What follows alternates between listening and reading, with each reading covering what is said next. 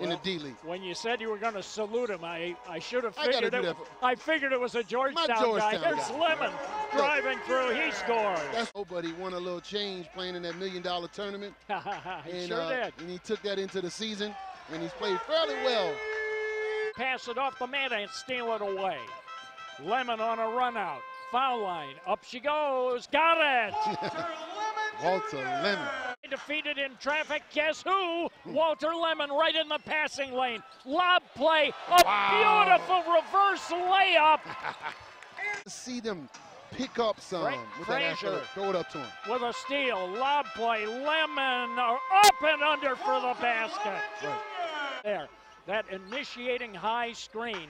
You don't see that in college as much as you do in the pros, and you don't see a drive like that in college. Erie Bayhawk. So great for him, but he's surely missed tonight. One minute to go in the season as Frazier gets a pass and scores.